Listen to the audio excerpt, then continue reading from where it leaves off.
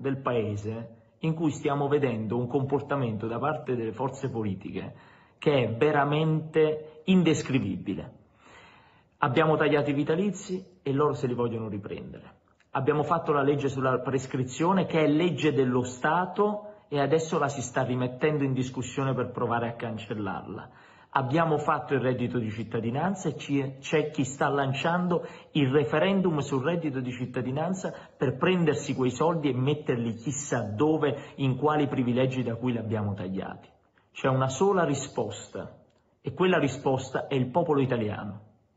E quel popolo italiano deve scendere pacificamente in piazza e manifestare pacificamente contro questo osceno atto di restaurazione che inizia con il riprendersi i vitalizi, ma man mano, vedrete, vorranno cancellare tutte le leggi che abbiamo fatto.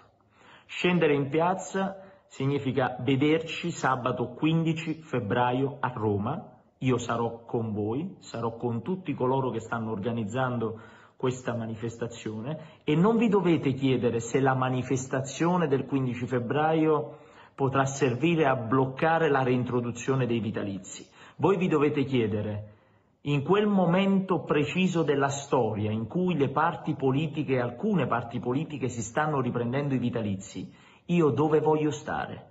Voglio stare in piazza col popolo italiano o voglio stare a casa facendo finta che non sia così?